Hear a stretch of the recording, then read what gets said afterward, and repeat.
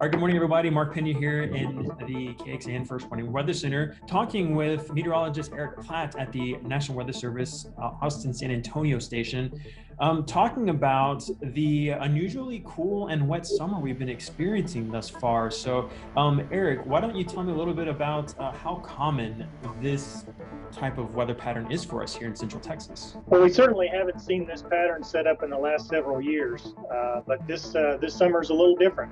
Uh, and what we've seen, uh, what we typically have is a pretty large area of persistent high pressure that remains over the area.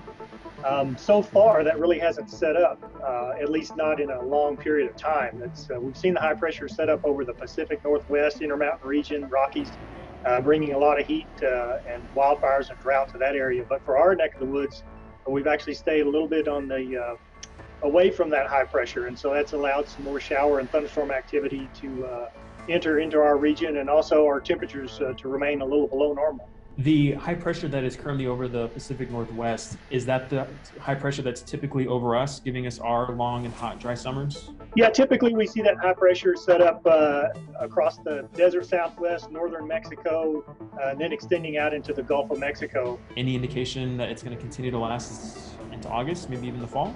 Um, it looks like we might start returning back to a little bit more normal precipitation wise, which is drier. August is one of our drier months.